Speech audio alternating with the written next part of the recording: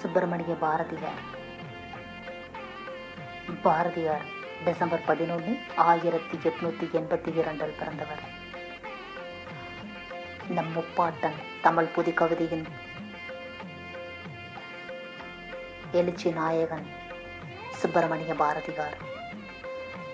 தம் தாய்மொழியாம் தமிழ் மொழி மீது அளவு கடந்த பற்று கொண்டு யாம் அறிந்த மொழிகளிலேயே தமிழ் மொழி போல் எளிதாவது எங்கு காணோம் என்று தமிழை போற்றி பாடியுள்ளார். விடுதலை போராட்ட காலத்தில் இவருடைய தேசிய உணர்வுகள் மக்களை ஒருங்கிணைத்தது. இவரை தேச கவியாக மக்கள் போற்றி பாடினர். இவருடைய கவிகள் ஒவ்வொன்றும் மக்களை எழுச்சியுற செய்தன. பிரிட்டிஷாரிடையே எதிர்ப்பினை பெற்றதில் இவர் முக்கிய பங்கு வகித்தார். பதினோரு வயதிலேயே தன்னுடைய கவி பாடும் திறனால் எட்டயபுரம் மன்னர் பாரதி எனும் பட்டத்தை இவருக்கு வழங்கினார்.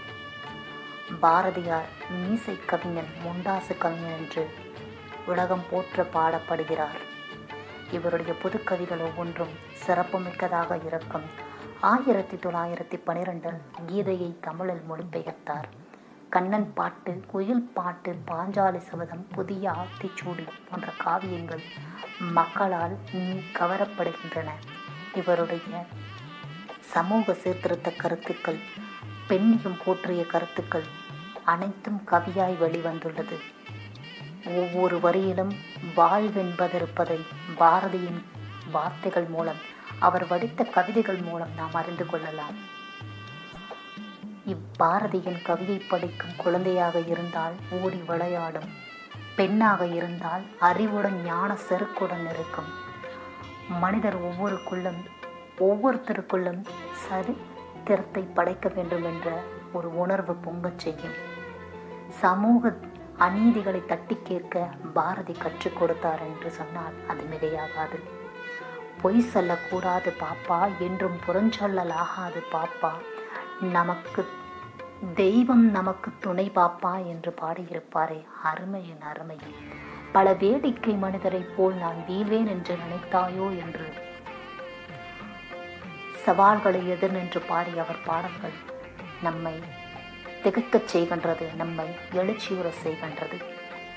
பராசக்தியிடம் நல்லதொரு வீணை செய்தேன் அதை நலங்கட புழுதிகளை எரிவதுண்டோ சொல்லடி சிவசக்தி என்னை சுடர்மிகு அறிவுடன் படைத்து விட்டால் வல்லமை தாராயோ இந்த மாநிலம் பயனுற வாழ்வதற்கே என்று அவர் எழுச்சிய கவிதை.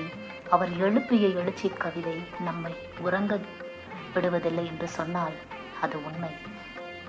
அவருடைய உணர்வு மிக்க வரிகள் நம் உணர்ச்சியை தூண்டி அநீதியை தட்டி கேட்க நமக்கு கற்றுக் கொடுக்கும். உள்ளத்தில் நேர்மையும் தைரியமும் இருந்தால் நடக்கும் பாதையும் நேரானதாகவே இருக்கும் என்பார் பாரதி.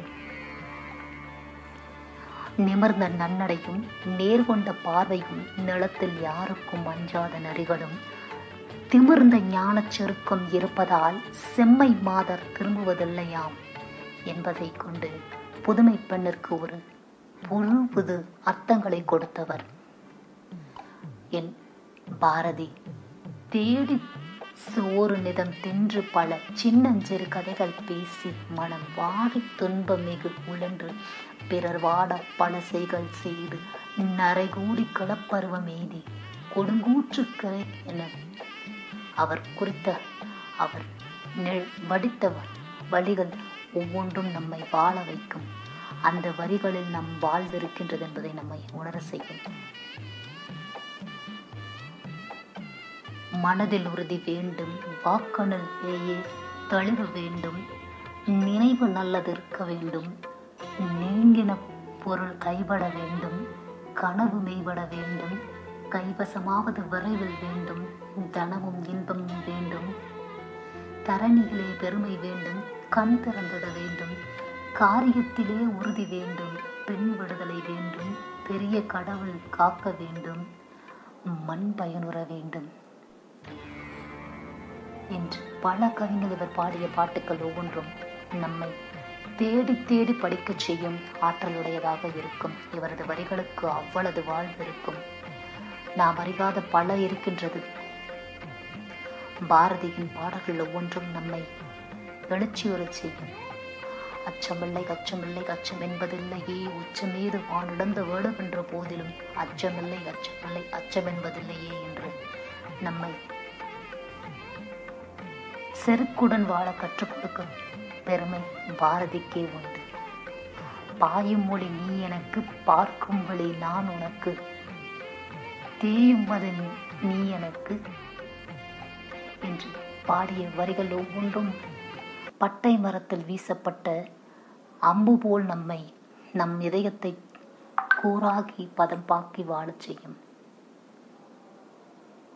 இது போன்ற பல கவிகள் இருக்கின்றது. அடுத்தடுத்த பதிவில் நாம் பார்ப்போம்.